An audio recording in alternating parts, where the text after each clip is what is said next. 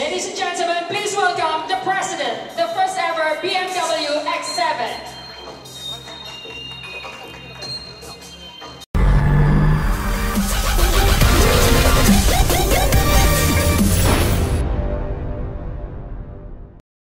Hai dan welcome to Outdated Max. Kembali dengan Audi yang nggak pernah review Audi. Kali ini gue tetap akan review sebuah BMW. BMW apa? BMW terbesar, or the biggest BMW ever made. The BMW X7.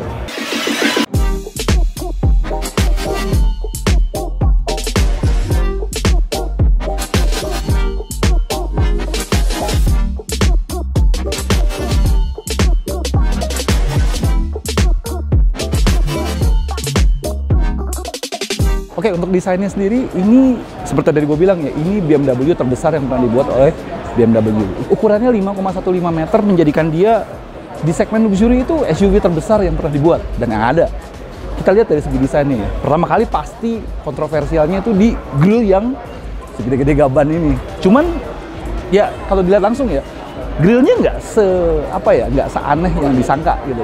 Karena untuk mobil ini besar, grillnya lumayan matching dengan keseluruhan bonetnya yang yang lebar dan yang besar itu. Dan kalau dari segi lampu, si X7 ini juga sudah dilengkapi oleh lihat biru-biru ini laser lightnya. Jadi dia laser light sudah ada sebagai standar di BMW X7 terbaru ini. Untuk roda sendiri dia sudah pakai 28545, ringnya 21. Jadi ini udah kayak mobil-mobil Tag Life ya, mobil-mobil mafia. Ringnya 21, bannya Pirelli, RFT lagi. Waduh, gede banget. Peleknya sendiri model-model uh, ala-ala M. Jadi sudah berakar-akar gini, terus ferrit silver kalau nggak salah, apa ferrit grey gitu kalau nggak salah namanya. Ya overall sih cocok ya, biarpun gue prefer kalau bannya agak lebih sebelah dikit. Oke, di bagian sampingnya baru kelihatan ini mobil gede, bener-bener gede banget. Ya seperti tadi gue bilang, panjang 5,15 meter, lebar hampir 2 meter, dan karakter BMW-nya masih tetap ada ya. Pertama, L shape-nya itu masih ada. Dia memanjang sampai ke sini. Master King-nya juga masih ada, malah jadi lebih tegas. Cuman karena dia besar dan dia jaga headroom ya. Pilar C dan pilar D ini kalau BMW biasanya agak menukik, agak kayak coupe, dia malah tegak. Tapi malah jadi kesannya keker, gagah ini ibaratnya. Dari ke belakangnya, di bagian belakangnya sekilas ada kemiripan dengan si BMW X5. Jadi garisnya udah mengadopsi garis desain BMW yang baru, jadi lebih clean, L-nya lebih subtle, chrome-chrome-nya juga lebih halus dan sama seperti si X5, dia juga pakai split gate. Jadi kebuka bisa di atas dan ini bisa dibuka di sini. Nah, sama seperti si X5. Cuma memang interior jauh lebih besar. Seperti apa interiornya? Kita masuk yuk ke dalam.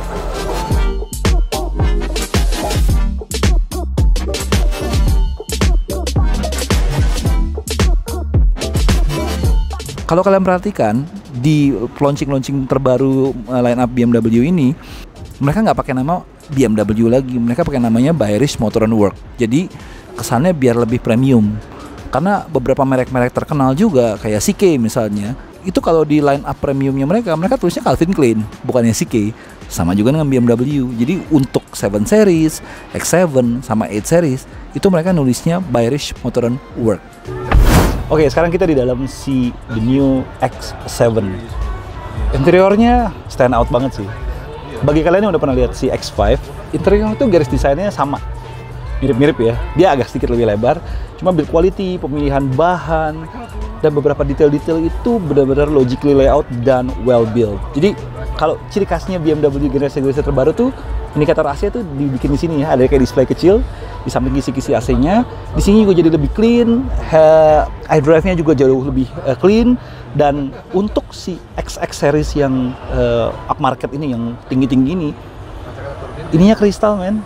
Nih crystal cut gitu jadi tuasnya tuh looks nice karena kalau di zoom itu jadi ada X-nya di dalamnya itu dan dipegang juga enak.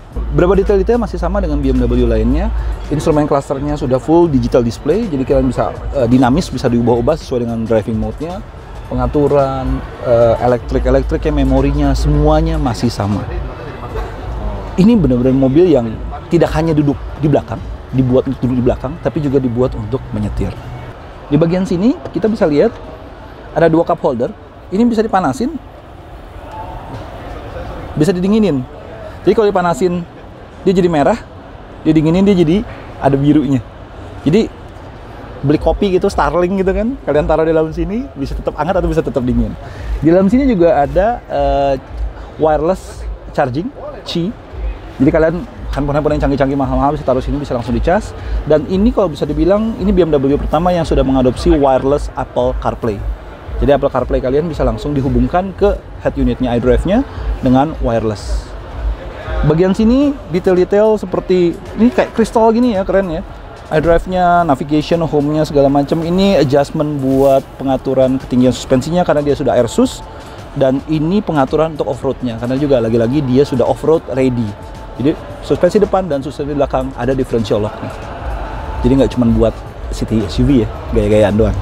Tapi yang bikin penasaran tuh sebenarnya gimana sih duduk di belakangnya. Karena ini kan BMW paling lega harusnya ya di X di seri X. Kita ke belakangnya aja yuk. Oke, sekarang kita ada di bagian baris kedua dari the all new BMW X7 dan di sini baru kelihatan perbedaannya dibandingkan si X5. Jadi dia sudah mengadopsi Sky Lounge Sky Lounge tuh semua sih itu. Oh, tiga. kacanya tiga. Depan sunroof, panoramik, dan ada kaca panoramic glass lagi di belakang. Dan ini dilengkapi dengan biar kelihatan kayak bintang-bintang gitu loh. Ah, LCD ya? banyak ratusan titik. Ini biar berubah-ubah nanti ambience-nya di atas sini. Dan ya di sini memang seharusnya pemilik dari CX-7 ini duduk karena headroom melimpah dan ini kursinya juga dengan adjustable armrestnya bisa mengatur ketinggiannya? Tuh. Sama surprisingly ya BMW menaruh bantal empuk di sini kayak first classnya atau business classnya di pesawat-pesawat. Jadi duduk tuh lah. Serasa jadi bos. Dan di luar itu juga fitur-fitur yang dilengkapi di baris kedua ini juga lebih dari cukup. Kita akan mendapatkan dua layar touchscreen untuk pengaturan general setting, pengaturan audio segala macam. Ukurannya 10,2 inch. Kanan kiri AC 5 zone. 1 2 3 4 5. Jadi ini AC-nya 5 zone. 5 zona. Dan detail-detail lainnya juga sama seperti bagian depannya. Tombolnya juga sudah enak, layoutnya juga sudah bagus, ada pengaturan audio sini, headphone, eh, USB dan cup holdernya di sini ya. Tapi sayang nggak ada pendinginnya cup holdernya ini bener-bener ya dibuat untuk duduk di sini gitu. Dan detail-detailnya juga diperhatiin banget untuk kenyamanan penumpang di baris kedua ini. Contoh, blindnya sudah elektrik, baik kanan maupun kirinya. Dia juga bisa ngatur kalau nggak salah blind yang di belakangnya. Oh, beserta sunroof sunroof di belakangnya juga dia bisa atur. Ini bener-bener kayak raja sih duduk di sini. Biarpun, biarpun, kritik gue, gue berharap dengan mobil yang 5,15 meter panjangnya ini, gue berharap legroomnya harusnya sedikit lebih lega lagi dan kursinya kalau bisa sih lebih agak ke bawah dikit ya. Ini jangan salahkan mobil, salahkan postur, kaki gue pendek, jadi kaki gue agak ngegantung dikit. Kurang eh, ngebenem gitu loh, biar lebih nyaman duduknya. Tapi no complain, ini mobil buat para bos. Kita lihat baris ketiga aja.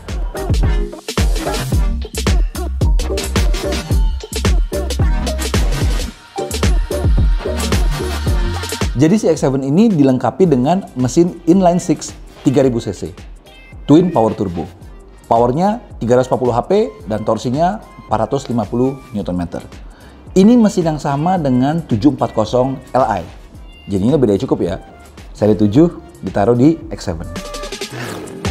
Untuk masuk ke baris ketiga, ini juga mudah banget karena pengaturan kursi ini, kedua kursi yang di tengah ini, captain seatnya ini semuanya full elektrik. Kita bisa ngatur dari sini. Jadi kursi benar-benar kelipat sampai ke depan, aksesnya masuknya gampang dan bahkan kursi depan agak kelipat dikit ke depan. Jadi benar-benar wah ini sih benar-benar nyaman banget. Oke kita lihat baris ketiganya ya. Baris ketiganya ya seperti BMW bilang ini lebih cocok dibilang mobil 2 plus 2 plus 2. Tiga sih sebenarnya maksa sih, soalnya nggak ada seat beltnya juga gitu. Lebih bagus dua dan dua. Dan kata mereka buat grown ups, buat orang dewasa ini lebih dari cukup ya headroom 174 masih oke. Okay. Depan sih jantanya ya. Dan di sini masih ada pengaturan AC. Jadi benar seperti yang dibilang, ini 5 zone. Jadi di belakang ini kedua orang yang anak tiri di belakang ini masih dapat pengaturan AC. Yang nggak tiri-tiri banget deh jadinya deh. Jadi masih bisa nyaman juga deh.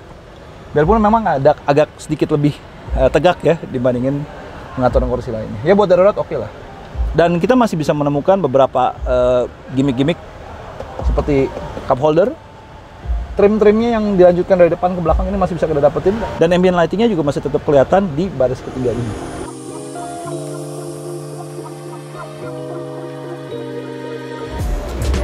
Oke, sekian impresi singkat kita mengenai the all new BMW X7, BMW terbesar yang pernah dibuat oleh BMW dan apakah termewah? Ya bisa dibilang ini adalah seri 7 with steroid lebih tinggi, ground clearance lebih tinggi, dalam juga sama mewahnya, berapa detail-detail juga masih lebih bagus dan biarpun ini platformnya sebenarnya mirip sama X5, tapi nggak terlalu banyak terlihat perbedaan-perbedaannya karena memang ini upmarket banget ya, benar-benar naik kelas banget. Cuman tetap masih ada uh, perasaan kalau baris kedua itu harusnya bisa lebih dimewahkan lagi, bisa lebih dimajakan lagi. Karena di mana pun juga orang-orang yang beli mobil seperti ini akan duduk di baris kedua. Tapi apakah dia tetap mempertahankan heritage-nya BMW sebagai sebuah mobil yang sheer driving pleasure? Nanti kita pinjam dan kita akan coba langsung. Seperti apa rasanya. Oke, okay? thank you. Sekian dari Audi. Terima kasih udah nonton. Klik like kalau suka video ini, subscribe kalau belum subscribe, dan tekan lonceng kalau ingin dapat notifikasi mengenai video-video terbaru dari AutoNet Max. Thank you dan bye. Ini juga elektrik. Damn, nggak nyala. Harus bisa turun nih. Oh, gini. Gue berharap headroom, sorry. Copot tuh. Nggak bisa buat apa-apa ya ternyata.